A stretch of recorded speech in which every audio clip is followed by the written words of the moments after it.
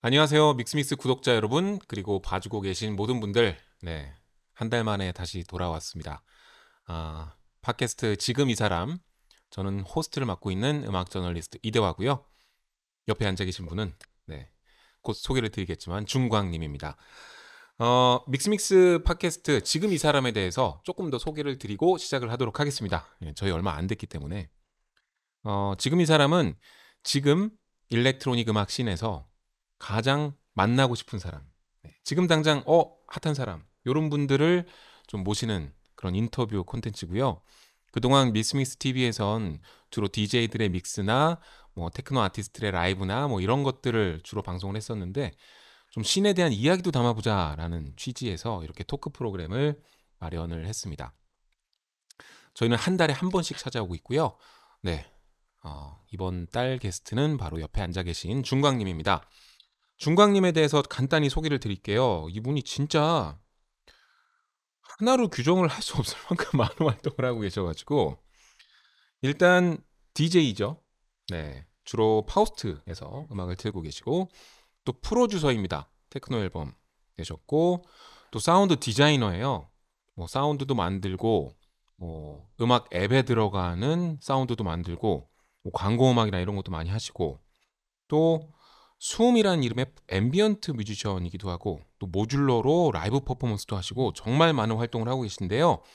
오늘은 준곽님이 하고 계신 활동 중에서도 좀 이벤트 위주로 섭외를 했습니다.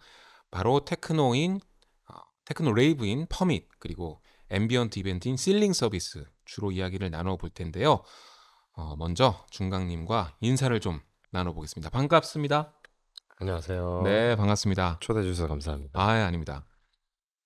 어, 준곽님을 어, 모시기로 결정한 다음에 준곽님이 인터뷰하신 걸 좀 찾아봤는데 저도 진지하지만 중광님도 진지하더라고요.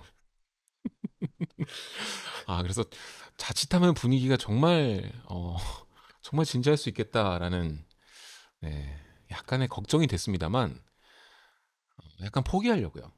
네. 제가 긴장을 하면은 조금 조용해지는 편이라 아, 좋습니다. 아티스트로서 네. 굉장히 멋있는 모습이 나올 것 같고 호스트로서 좀 까불어 가지고 어떻게 좀 분위기를 띄워볼까 하다가 그냥 오늘은 네, 아주 편안하게 네, 편안한 진행을 하자라고 생각을 했고 여러분도 저희에게 뭔가 재밌는 케미보다는 그냥 편안한 방송이라고 생각하시고 즐겨주셨으면 좋겠습니다. 어, 중강님 간단한 자기소개 한번 부탁드릴게요. 왜냐면 제가 앞에서도 얘기했지만 또 본인에게 듣는 건 좀 다를 것 같은데. 아, 네. 안녕하세요. 저는 어, 여러 가지 뭐 아까 소개해 주신 활동들을 하고 있는 준과학입니다. 네, 반갑습니다. 네, 역시 진지하죠. 아 근데 제가 물어봤어요. 그랬더니 긴장하면 더 진지해진대요. 네, 지금 긴장하신 거죠? 그쵸. 제가 카메라 앞에 설 일이 별로 없다 보니까 네. 네. 아니 저 상당히- 이벤트 할 때 옆에 같이 있어봤는데 이벤트 하면서 막 이렇게 멤버들하고 막 농담 주고받을 때는 네, 이런 모습만은 아닙니다. 네, 농담도 되게 잘하시고 재밌는 분인데 긴장한 걸로 하겠습니다. 제가 중강님에 대해서 조사를 하다가 좀 재밌는 걸 발견했는데 지금은 주로 이제 일렉트로닉 음악 쪽에서 활동하시잖아요. 거의 다. 또 어렸을 때 플룻 연주를 하셨는데 꽤 오래 하셨다고요? 네, 제가 그 초등학교 때부터 고등학교 네. 초반까지 열심히 클래식 음악을 하다가 놨습니다. 아니, 그러면 어느 정도 수준까지 가신 거예요? 막 전공자 정도의 플룻 연주자였어요? 취미였어요? 어, 뭐그 중간이었던 것 같아요. 그래도 하루에 연습을 뭐 대여섯 시간씩은 최소한 했었으니까 막 콩쿨 같은 데도 한 번씩 나가보고 콩쿠르까지는 아니고 뭐 이렇게 같이 활동하는 친구들이랑 성남아톨 이런 데서는 했었는데 조그만하게. 네. 아 그럼 전공자는 아닌 거예요? 거, 거기에 전공자들도 섞여 있었고요. 음. 네, 제가 홈스쿨을 고등학교 때 해가지고 그때 좀 그런 전공자 홈스쿨하는 친구들이랑 또 네. 취미인데 좀 취미 아닌 것 같은 친구들 모여가지고 저 고등학교로 홈스쿨링 하는 사람 아는 사람 중엔 처음이에요. 아 여기 있습니다. 어, 네. 아 재밌는 분이네요. 생각보다. 저는 뭔가 이렇게 순탄한 엘리트 코스를 밟았겠거니 생각했는데. 네. 그그 전혀 그렇지 않고. 아, 네. 그렇구나. 네. 근데 네덜란드에서 대학교 나오셨죠? 네, 맞습니다. 그럼 홈스쿨링은 어디서 하신 거예요? 홈스쿨링은 이제 한국에서 고등학교 생활을 이제 3년 홈스쿨링 했고요. 네. 중학교까지는 학교 다니다가 그리고 나서 이제 어 한국에서 잠깐 한 학기를 학교를 다니다 그냥 유학 가고 싶다는 생각이 많이 들어서 음. 그래서 그때 네덜란드로 가게 됐습니다. 근데 보통은 유학을 가게 되는 그 몇몇 나라들이 있잖아요. 네덜란드는 좀 일반적이진 않은 것 같은데 왜 네덜란드로 가게 된 거예요? 제가 이제 그런 뭐 미대 예술대학교를 알아봤었는데 네. 이제 그런 일반적인 대학교들 미국이나 영국이나 다 너무 비싸가지고 그, 아, 현실적인 네. 이유였구나.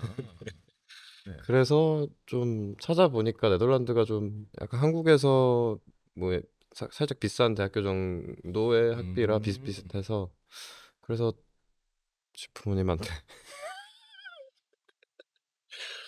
근데 그것도 있어요. 유학을 가는 나라를 선택하는 데는 어떤 언어를 쓰느냐도 좀 아 매우 중요하죠. 매우 중요하잖아요. 네, 네. 근데 네덜란드가 물론 영어를 좀 이렇게 잘하는 분들이 많긴 하지만 좀 그런 두려움은 없었어요. 아 그런 것도 다 알아보고 갔거든요. 네. 학비가 싼 학교들이 이제 뭐 프랑스, 독일 음. 이렇게 있는데 그쪽들은 다 이제 자기네 나라 언어로 가르치다 보니까 음. 좀 어려울 것 같고 네덜란드는 보니까 다 영어로 수업을 하고 아. 학생들도 되게 international 학생들이 많아가지고 네. 오히려 네덜란드 사람들이 그렇게 많지는 않았습니다. 제가 다녔던 학교에서는. 아, 네. 그래요? 네. 오히려. 그러면 자연스럽게 넘어가는 질문인데 네덜란드에서 뭔가 이렇게 뭐 개종이라고 해야 되나? 원래 플룻 전공자이자 전공은 안 하셨다고 했지만 클래식 음악을 좋아하던 사람이 뭐 테크노나 일렉트로닉 음악 쪽으로 그때 넘어간 건가요? 그때 넘어간 건 아니고요. 네. 고등학교 이제 3학년 때 아는 형 집에서 이제 미국에 잠깐 일주일 동안 지냈는데 거기에 이제 DJ 장비가 있다 보니까 음. 형 이거는 무슨 기계야? 이러다 보니 이제 그때 열심히 유튜브 보고 공부하다가 그렇게 시작했습니다. 아, 그러면 DJing을 고등학교 때부터 한 거예요? 그때 잠깐 이렇게 만져보고 어 학교 준비할 때니까 고3이면은 그래서 그때는 이제 간간히 유튜브로만 보다가 음. 이제 스무 살 되자마자 돈 모아놨던 걸로 조그만한 Denon 컨트롤러를 사서 네. 집에서 이제 막 이렇게 했었죠. 그러면 네덜란드가 거의 천국이었겠네요. 그쵸. 그래서 너무 좋았죠. 사실 음. 그런 어 테크노와 하우스 뭐 네. 그 너무 많은 나라니까요. 한국에 그쵸. 케이팝이 이렇게 즐기는 사람이 많다면 네덜란드에는 하우스 테크노를 그만큼 모든 사람들이 즐기고 있기 때문에 네. 네, 참 재밌는 에피소드도 많았어요. 거기서 디제잉 하다 보면은 음. 정말 다양한 나이대 사람들이 오시는데 네. 음악 막 열심히 틀고 내려가면 한 60 중반 돼 보이는 할아버지가 막 이렇게 오셔가지고 아 셋 너무 좋았다며 아 근데 음. 그 아티스트 그 레이블에 뭐 또 이런 아티스트도 최근에 음악 낸 거 있는데 들어봤니 막 이러면서 얘기하시는데 오. 좀뭐 신기하다. 제가 그분만큼 경험한 거 없다 보니까 그냥 잘 받아 적고 공부하고 네.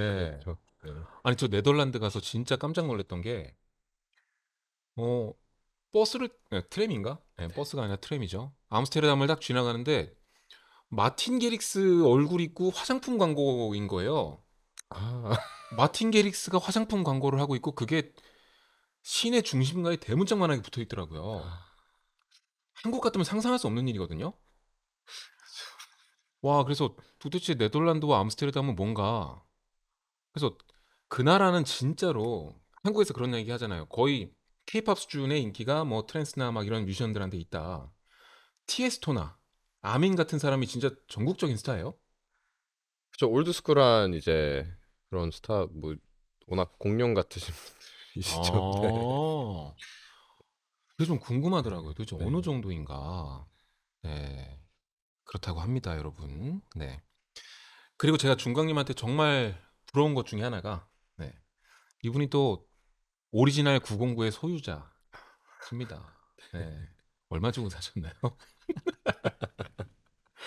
가격은 아. 공개할 수 있나요? 좋은 가격에 음. 그 링고샵 사장님께서 이렇게 네. 네. 테크노지님께 네 테크노지님께 네 입양 받았습니다. 아, 써보니까 네. 뭐 클론이나 아니면 플러그인하고 확실히 다른가요? 어뭐 그런 것 같습니다. 네 저도 이제 뭐 사기 전엔 되게 여러 개 찾아보고 뭐 이렇게 리서치해서 샀는데 딱 어, 그냥 생소리만 나와도 되게 음, 좋더라고요. 특히 클럽이나 큰 PA 시스템에서 처음 들었을 때 좀 충격적이긴 했어요. 다른 뭐 드럼 머신이라든지 갖고 있는 아니면 그런 유로의 킥 드럼 모듈들에서 나오는 뭐라 해, 댐핑감이라고 해야 되나? 뭐 딱히 뭐 컴프레서나 뭐 안 걸었는데 되게 막 공간을 꽝꽝 울리는 이 네. 소리가 참 신기하더라고요. 음. 그러니까 다 이유가 있네요. 고전이 되는 데는. 네. 그리고 더 부러운 거. 그 오리지널 909의 그 Jeff Mills의 사인을 받으셨죠? 네. 저도 한번 본 것 같은데 그 사인. 맞습니다. 네. 그래서 궁금한 건 그 나중에 어쨌든 파실 거잖아요. 안 파나요? 팔 생각은 없습니다. 네. 얼마에 내놓을 거냐고 지금 물어보려고 그랬는데. 그거 지금 한국에서 노리는 분들이 꽤 계실 거거든요. 무덤으로 이렇게 안고 제 생각에는 한 천만 원까지도 받을 수 있지 않을까? 나중에 가면. 네.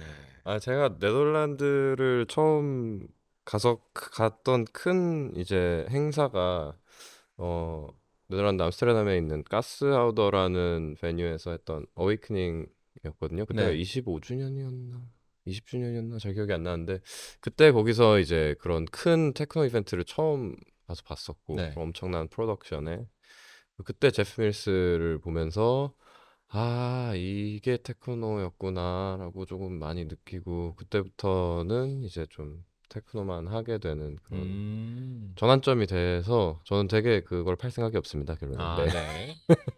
아, 근데 좀 멋있다. 아, 네덜란드 가스하우더에서 제품 일스를 보고 테크노에 대한 꿈을 키웠다.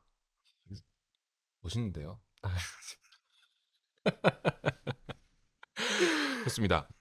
오늘은 모신 이유가 어, 중광님이 궁금하기도 했지만 어쨌든 중광님이 주최하고 있는 물론 중광님뿐만 아니라 여러분들이 같이 하고 계신데 퍼밋과 실링 서비스에 대해서 한번 얘기를 해보고자 어, 모셨거든요.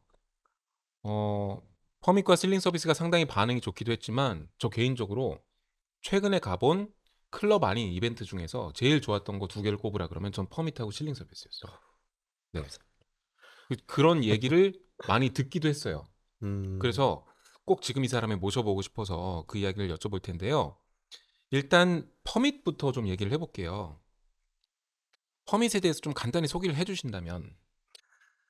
어 Permit은 그 리턴스 테크노 좋아하는 그런 여러 뭐 아티스트들 그리고 뭐 어, 디렉터 분들 이렇게 저희 이렇게 친했던 사람들끼리 모여서 어 코로나 때 좀 이렇게 조그맣게 시작했다가 그 이후에도 계속 뭐 새로운 멤버도 들어오고 뭐 기존에 바빠지면 뭐 나가고 이러면서 지금 약간 아티스트 collective 같은 형태를 띠고 있습니다.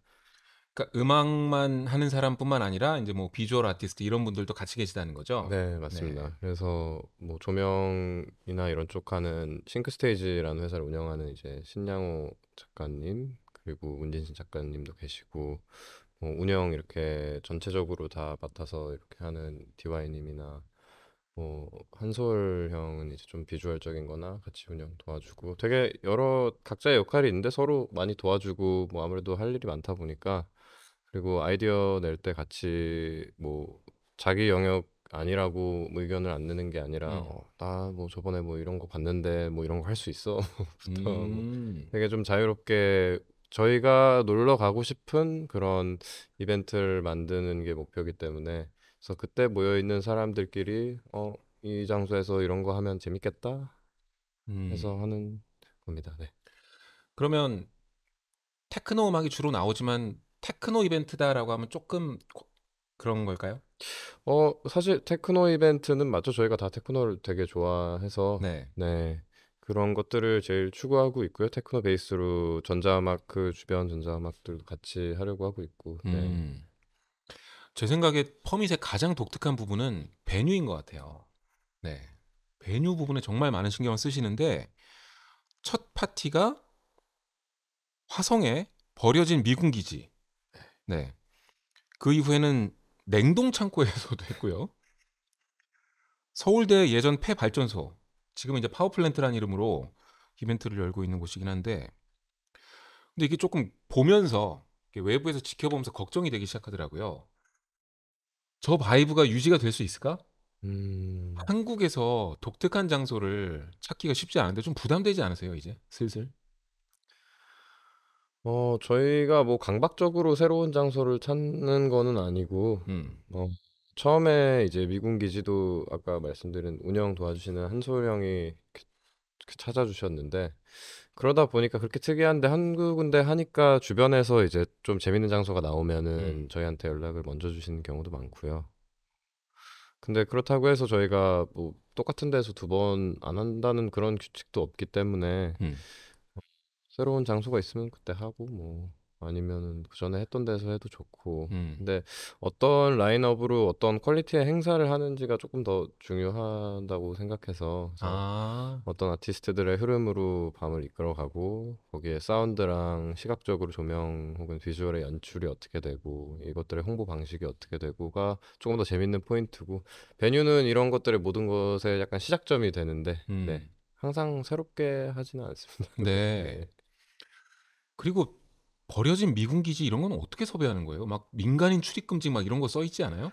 그때 참 운이 좋았던 게, 어, 아마 거기가 지금은 무슨 평화 생태공원으로 바뀌어 있을 네. 거예요. 그래서 그 공사 들어가기 직전이어 가지고 약간 경기 영상 위원회인가 뭐 그런 데서 약간 대관을 하고 있더라고요. 그래서 그런 거를 또 음. 어떻게 한, 현솔님이 찾으셔가지고. 모르겠습니다. 그래서 단톡방에 갑자기 이렇게 연락 네. 오더니 여기서 하면 될 것 같다. 이래서. 그럼 지금까지 섭외한 장소들 중에 가장 섭외 난이도가 높았던 데는 어디예요? 아 이거 그냥 하지 말까 막 이런 생각 들었던. 아, 그거는 처음에 아, 그건 냉동 창고였던 것 같은데 아. 아무래도 멀기도 하고 네. 그리고 속초였나요? 네, 네. 맞습니다. 대관료도 싸지도 않아 가지고 그래서 아. 약간 이게 되려나. 결국 흥행됐어요?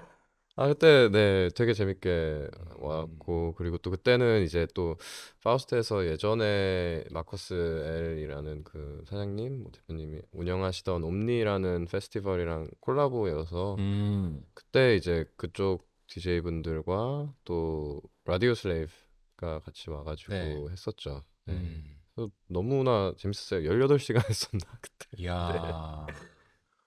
그러면 시작을 보통 한 저녁부터 했을 테니까 해 뜨고 나서도 한참 한 거네요?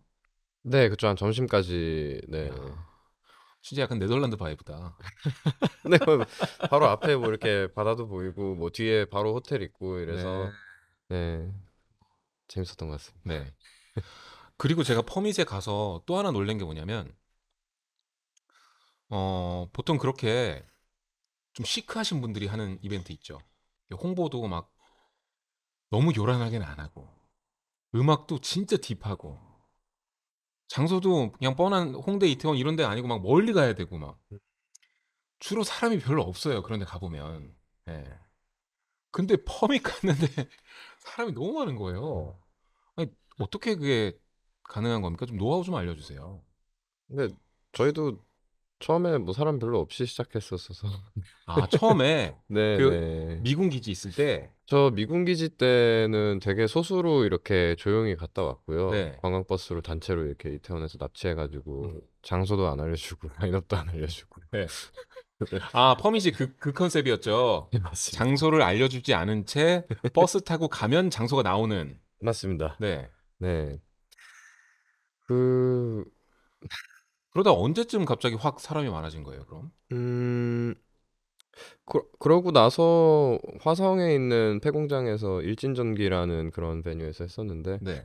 그때 조금 많아졌고 그다음에 소- 그 쪼- 차차 이렇게 늘어났던 것 같습니다. 한 뭐 100명 이렇게 뭐 다음에 음, 했을 때는 뭐 한 50명 더 오고 이런 식으로 해서 네. 네. 서울대 했을 때가 제일 많이 오죠. 아무래도 서울에 있다 보니까 네. 네. 서울에서만 해도 그 정도면 이태원에서 하면 장난 아니겠는데요? 아, 근데 또 또 서울대라는 베뉴에 그런 음, 또 음. 그 뭐 강력한 홍보 효과가 있기 때문에 재밌긴 했어요. 그쵸. 네. 서울대에서 테크노 파티 한다고? 네. 약간 그런 느낌? 근데 사실 서울에서 여러 이런 이벤트들 다녀봤는데 거기만한 테크노랑 어울리는 베뉴는 없는 것 같아요. 아, 층고도 그렇고 딱 사이즈도 너무 크지도 않고 적당히 놀 수 있고 야외 공간도 있고 네. 이러다 보니까 그 제일 중요한 건 이제 소음 민원이 없다는 거. 진짜 아무도 없잖아요, 밤에 학교에. 원래 항상 퍼밋 하면은 이제 경찰이랑 제가 이렇게 하고 있는 사진들 컬렉션이 있거든요. 저 팀원들이 이렇게 항상 찍어 놓는데 서울대에서 할 때는 그럴 일이 없죠. 네. 네. 네. 그래서 너무 좋습니다. 네. 그리고 모인 분들이 진짜 음악을 좋아하는 것 같아요. 뭘 느꼈냐면 서울대 파워플랜트에서 했을 때 앞에 가재발님이 나오셨잖아요. 근데 가재발님이 modular로 진짜 비트 하나 없는 노이즈 drone을 한 30분을 돌렸거든요. 사람들이 다 앉아가지고 몰입하고 있는 거예요. 저 진짜 깜짝 놀랐어요. 음. 근데 그런 분들이 비트가 나오기 시작하니까 일어서서 춤추기 시작하고 막 밤새 난리가 났었는데 어, 정말 찐 음악 팬들이 잔뜩 모여서 노는 곳이 퍼밋이구나. 또 그때 좀 그런 이미지가 생겼었고 뭐 특별한 노하우는 없다. 네. 그쵸. 네. 네. 사람 자연스럽게 그냥 차근차근 쌓여왔다. 어 음. 네. 뭐 아무래도 저희가 홍보할 때 좀 그런 어떤 사운드적인 거나 아니면 저희 이제 어 싱크 스테이지 팀에서 연출해 주시는 조명이나 이런 것들을 좀 보고 사람들이 끌려하는 것도 있는 것 같습니다. 음. 네. 왔던 사람들 중에서는 아, 소리 너무 좋다는 이런 평이 많아 가지고 이렇게 피드백을 주시고 음. 하니까 네. 아, 테크노 처음 들어보는데 너무 좋다고 막 어. 몸 때리고 막 이러니까. 아니 그 방금 얘기하셨으니까 음향 얘기도 좀 해볼게요. 네. 퍼밋은 정말 음향에 많이 투자하는 걸로 아는데요. 서울대 파워플랜트에서 했을 때 그러니까 대여료가 아니라 그 스피커 시스템 전체의 가격이 원래 7억이었다면서요. 그쵸. 스피커, 앰프, 콘솔, Avid 콘솔까지 하면은 뭐 그 정도의 이제 판매가 네. 렌탈이어 가지고 그 네. 브랜드가 뭐였는데요? 아, 저희는 그때 서울대에서는 이제 L-Acoustics setup으로 했었고 음. 앰프도 이제 맞춰서 하고 대여료가 그 정도는 아닌 거죠? 아니 대여료는 훨씬, 훨씬 네, 네. 네. 그렇죠. 근데 정말 사운드가 좋았어요. 그거 살돈 있었으면 좋겠네요. 아니 근데 대여료라고 하더라도 어 여차하면 적자를 감수해야 되는 수준 아니에요? 저는 그렇게 느꼈는데. 그렇기 때문에 홍보를 열심히 합니다.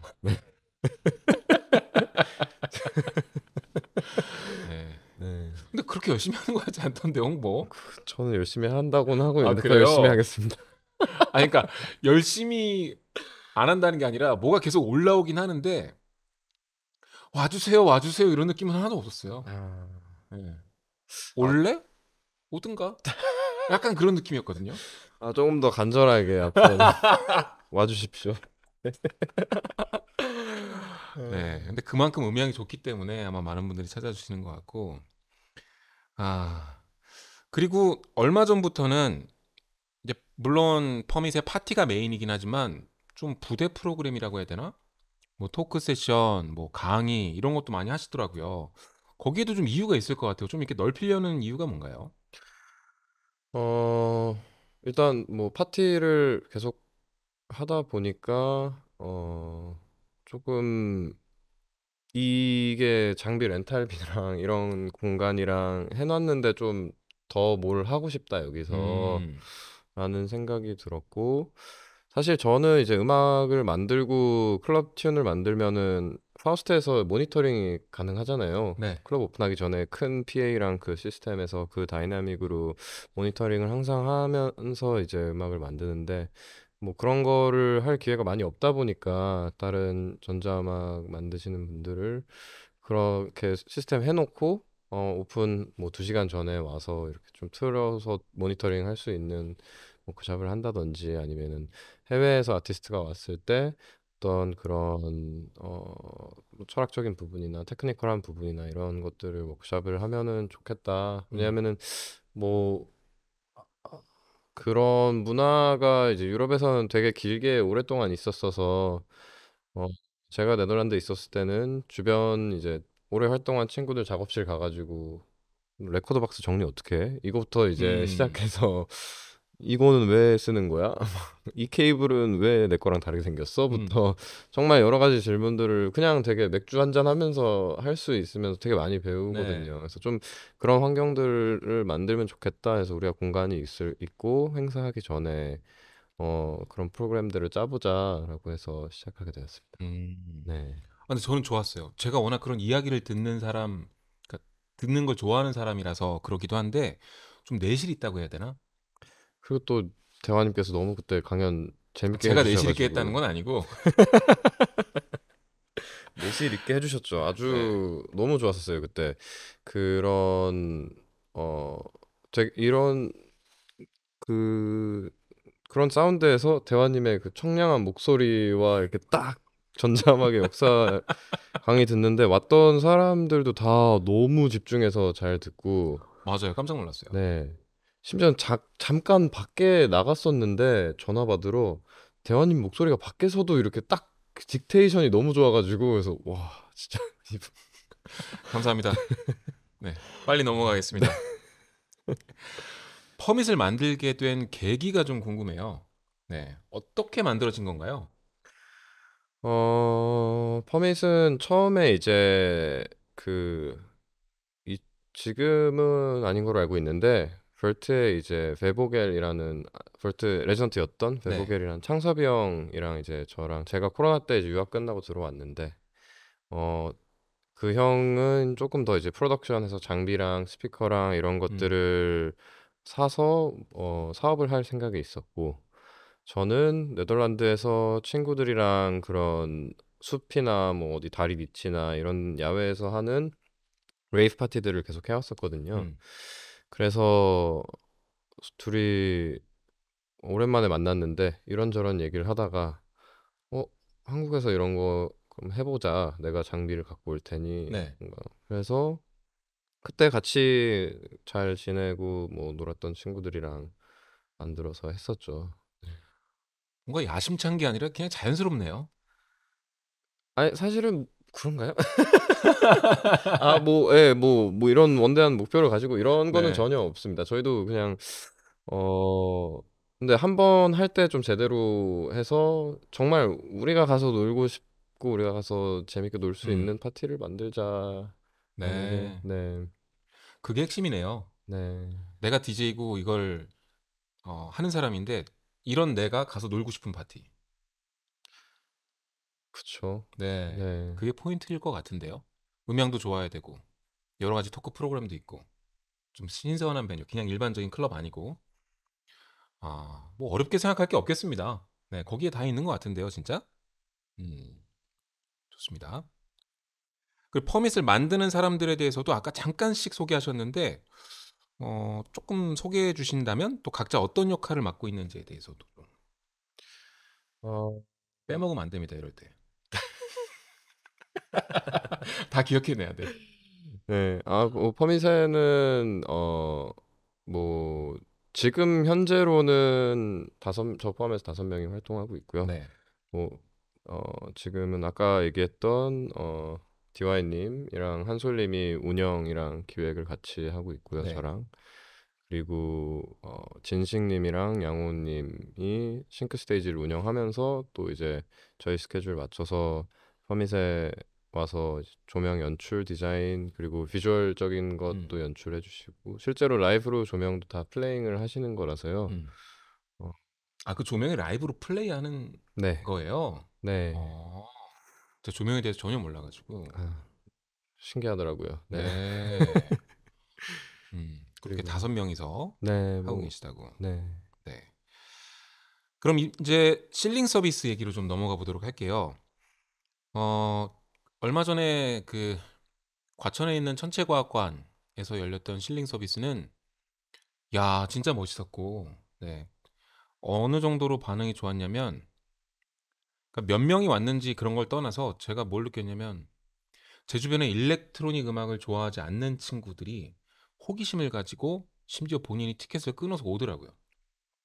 네, 진짜 깜짝 놀랐는데, 어, 일단 실링 서비스에 대해서 좀 간단히 소개를 해주신다면? 네, 실링 서비스는 어 간단하게 설명드리면은 이제 편안한 일요일 날에 뭐 공연이고요. 어 조금 저희도 테크노 이제 이벤트들도 많이 뭐 놀러 다니거나 아니면은 디제잉을 하거나 그러고 나서 집에 와서 누웠을 때 다음 날 쉴 때 뭐 ambient 음악을 듣는데 어 우리 퍼밋으로 이런 파티 하니까 그러면은 우리 쉬는 것도 이벤트를 만들어 보자. 일요일 날 낮에 음. 뭐 저녁에 하는 아, 그래서 일요일에 하는군요. 네. 주말엔 저희는 바쁘니. 클럽에서 음악 틀어야 되고. 네. 그래서 시작을 했고요. 처음에는 이제 그 약수에 있는 미래 빌딩에서 음.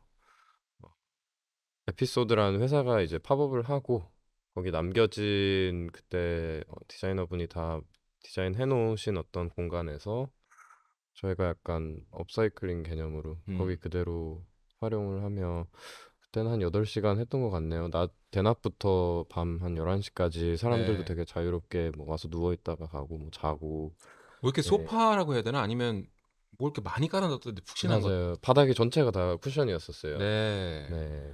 천장이나 뭐 이런 거 거의 나무였고 막 그랬었죠. 천장은 콘크리였던 콘크리트였던 음. 것 같고요. 네, 네, 제 네. 기억이 이렇습니다. 네.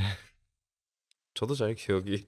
네, 그래서 바닥이 전체가 쿠션이 깔린 ambient 이벤트라는 게 너무 매력적이었거든요. 아, 네, 되게 재밌기도 했고. 근데 이제 베뉴를 옮기셔서 과천에 있는 천체과학관, 천체투영관이라고 해야 되나요? 거기서 하는데 국내 최대의 돔 상영관. 그래서 그 360, 아, 360도인가? 네. 그럼 이렇게 설명해 주셔도 네. 네. 돔 전체에 영상이 나오고 있고 사람들은 극장 의자를 180도로 젖혀가지고 천장 보면서 네, ambient를 듣는 이벤트인데 아 근데 그 venue 선정 그 섭외가 되게 어려웠을 것 같아요. 거기 공연장 아니잖아요. 저 그래서 처음 했을 때 좀 이메일도 되게 여러 번 보내고요. 저랑 아까 그 한솔님이랑 전화도 정말 여러 번 하고 네.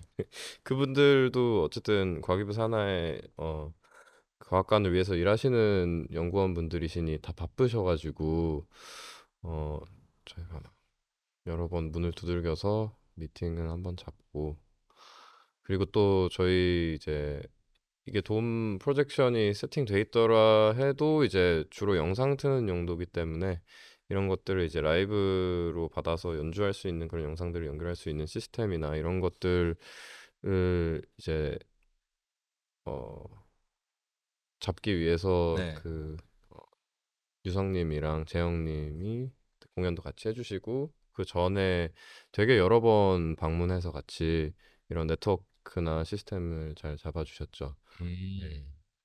아, 그 영상을 라이브로 하기 위한 최적의 시스템이 천체 투영관 안에는 없어요.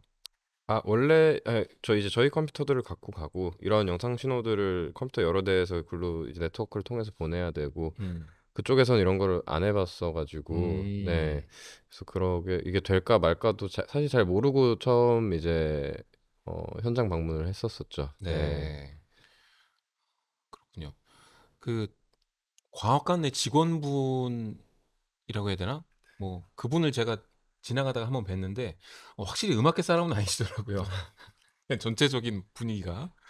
네, 하여튼 그런 곳에서 이런 이벤트를 한다는 것 자체도 재밌고 어, 지금 천체투영관에서 2회를 했는데 앞으로도 계속 거기에서 볼 수 있는 건가요? 어, 좀, 뭐, 저희는 거기서 좀 더 하고 싶고요. 음. 그래서 천체토연관도 저희가 가져가는 그런 음악과 비주얼들을 좋아해 주셔가지고, 그래서, 어, 이제 또 천천히 기획하지 않을까 음. 싶습니다. 그리고, 어, 이걸 보시고, 뭐, 어디 갤러리 측에서도 연락 와서 뭐, 이제 아. 이렇게 하고 있고, 혹은 어디, 뭐 뉴욕에 있는 creative agency 같은 데서도 뭐 한국에서 이런 거 하는데 하자고 연락이 온 것도 있고 아직 뭐 다 도장 찍은 건 없어가지고 네 네. 근데 어 실링도 마찬가지로 이런 새로운 DJ들이 들어왔을 때 저희도 그 공간에서 뭔가 어, 새로운 상상을 하면서 ambient 이벤트지만 또 색다른 모습을 보여줄 수 있지 않을까 음, 싶습니다. 야, 임팩트가 있었다는 거예요. 그 정도로 연락이 온다는 건, 그쵸? 네. 그리고 되게 멋있다. 뉴욕 creative agency. 아, 기대가 되는데요. 그럼 그래서 연락 받고 어, 이게 맞나? 네, 아무튼 축하드리고요. 감사합니다. 네. 네. 어, 이벤트 끝나면 보니까 항상 다들 무대에 누워가지고 이렇게 찍더라고요. 사진을, 단체 사진을. 그 무슨 의미예요? 뭐 별 의미도 없고요. 그것도 누가 아이디어를 냈나요, 그런 거? 처음 찍었을 때 그것도 잘 기억 안 나네요. 그냥 네. 뭐 단체 사진 찍읍시다 했는데 왜냐면 사실 사람들은 다 누워서 이렇게 편하게 공연 보는데 음. 저희 운영하는 사람들이나 공연하는 사람들은 그렇지는 못하거든요. 네. 그래서 우리도 한번 누워보자 이런 그런 마음에. 네. 네, 알겠습니다. 여러분들 퍼밋이나 실링 서비스 이런 이벤트가 앞으로 열리게 되면 꼭 한번 가보셨으면 좋겠고요. 이 뭐 이 두 이벤트도 그렇고 중강님이 하시는 이벤트나 뭐 여러 가지 면에서 뭐 계획이 있다면 좀 간단히 얘기해 주시겠어요? 어 지금 저희가 뭐 그렇게 길게 내다보고 항상 이렇게 하진 않아서 네. 각자 다 본연의 일들도 있고 하다 보니까 어 하긴 저한테도 섭외가 2주 전에 오더라고요. 네, 그, 이벤트를 뭐 2주 만에 만들어요. 아, 이게 다 메인 잡이 아니다 보니까, 네. 네, 네, 조금 그게 속도감이 좀 늦다가 나중에 빨라집니다. 나중에 막 밤새고 난리도 아니겠네요. 그쵸, 네. 네. 그래서 실링 서비스를 하는 거죠. 그러면 당장은 계획이 없으나 네, 언제든 마음이 동하면 번개불에 콩 구워 먹듯이 확 달린다. 네. 아, 그래도 뭐, 내- 어, 내년 거나 아까 말씀드린 그런 건들은 천천히 진행하는 건들도 있고요. 음. 근데 아직은 뭐, 확실하게 딱 이때 뭐가 있다라고 말씀드리기. 음. 네. 알겠습니다. 아, 저도 이제 질문지 내려놓고. 네. 오늘 어떠셨습니까? 아, 오늘도 많이 떨리네요. 네. 아, 근데 전혀 안 떠세요. 되게 그래요? 어, 차분차분 할 말 다 하실 수 있는 분인 것 같아요. 네. 너무 재미없었을까 봐. 아니, 괜찮아요. 네. 어차피 제가 사회자인데 재미를 기대하고 클릭하는 분은 그렇게 많지 않을 거예요. 아, 네, 아주 내실 있는 재밌는 insight를 들려주셔서 그게 아주 좋고요. 네, 오늘 저도 궁금했던 걸 좀 많이 물어볼 수 있어서 상당히 좋았던 것 같고 그 준곽님은 제가 봤을 때 보면 볼수록 좀 괜찮은 분인 것 같아요. 아, 저 개인적으로. 네. 어, 저 혼자 느끼는 건지 모르겠지만 약간 친근감이 쌓여가는 것 같기도 하고. 네. 자주 연락드리겠습니다. 네. 저 혼자만의 생각은 아니죠? 아니죠. 아니죠? 아니 제가 모듈러를 상당히 좋아하는데 또 모듈러를 되게 좋아하세요. 저도 네, 그래서 좀 배우고 싶고 물어보고 싶은 게 많아가지고 막 이런저런 막 전화로 막 물어보기도 하고 막 그랬었는데 조만간 작업실에 한번 가서 네, 좋습니다. 이분의 모듈러 셋을 한번 뜯어볼까 네, 그런 생각도 가지고 있습니다.